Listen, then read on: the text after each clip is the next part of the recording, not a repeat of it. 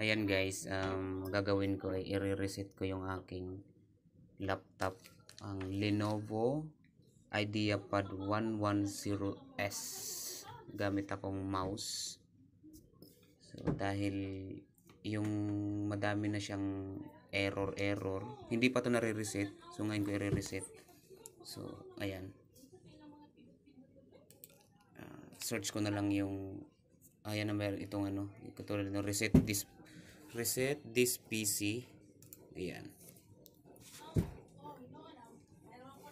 Then reset this PC if your PC not running well res resetting it might help this. Let's choose yan basahin nyo na lang yan. Or advanced start ito. Uh, ito na lang ang gagawin natin. Reset now make sure na naka-charge yung nakasaksak yung charger ng laptop nyo. Yan.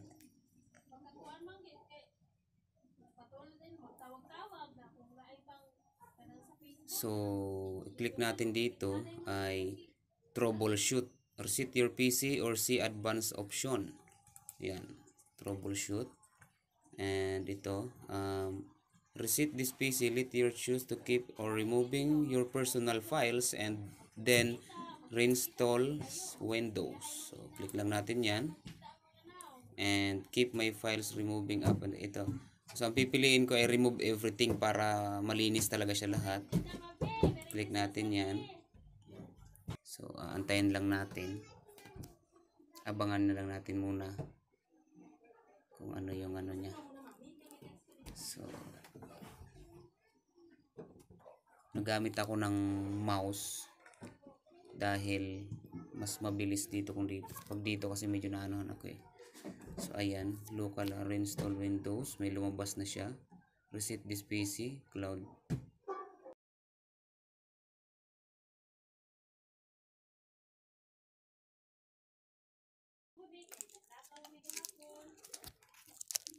So, ayan, may lumabas siya. Just remove my files.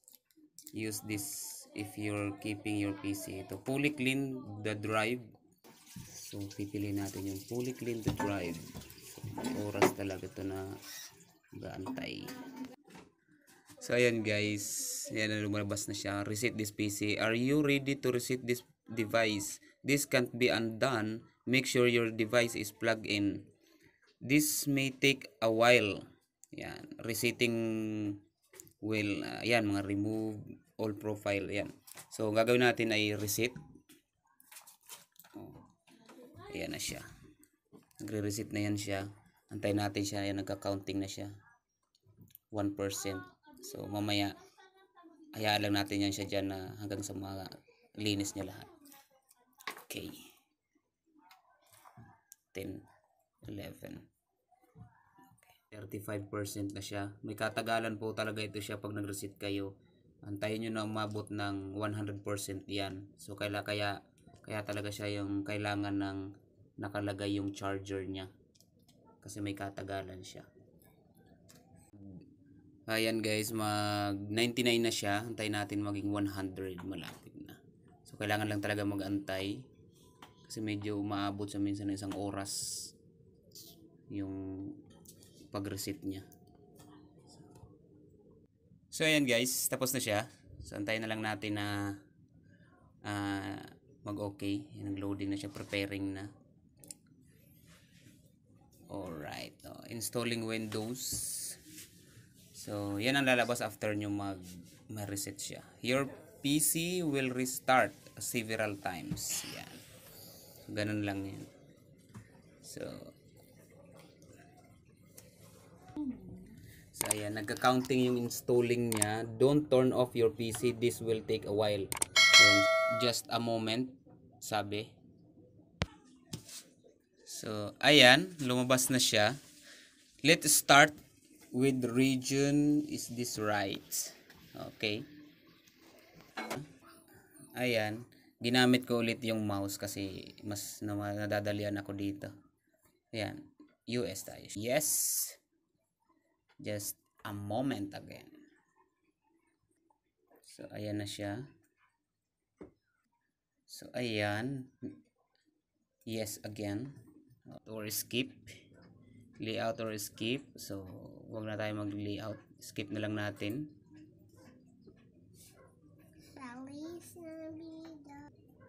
So?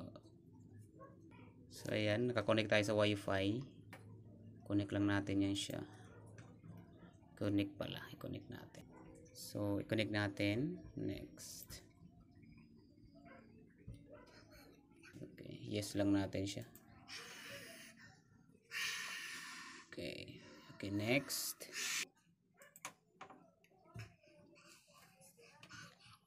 Now, we have some important setup to do. So, ayan na naman siya. Please don't turn off your PC o still setting things up. So, yan. Antayan lang natin. So, ayan. We're still working. Please don't, don't off your device.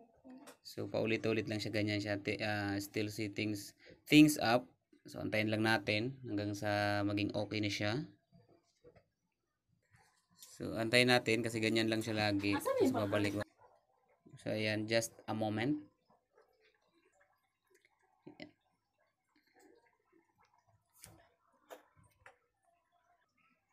So, ayan. Lumabas na si Lenovo. Naglo-loading pa rin siya.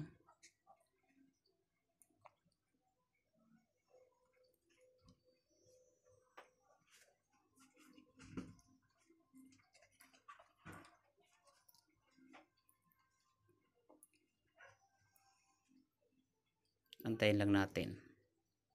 Yan. Hi! So, ayan. Okay na siya. We're getting everything ready for you. So, okay na siya. Pwede na natin siya i... This might take several minutes. So, ayan. May lumabas siya na, don't turn off your PC. So, ayan. Windows 10 license agreement. So, wala naman ibang choices dito kundi syempre ay accept. Kaya na lumabas after nyo ma-accept yung agreement niya, bali maglalagay na lang kayo ng account nyo dito. So, yun na siya. Bali mag Silalagay natin yung ating ano dito, cha, ah, account. So, ayan, nilagay natin yung ating email. Please wait. Guys, ah, bali yan na yung finished product niya. Okay na siya. So, dadownloadan lang natin ang mga kakailanganin dito. Thanks. Peace.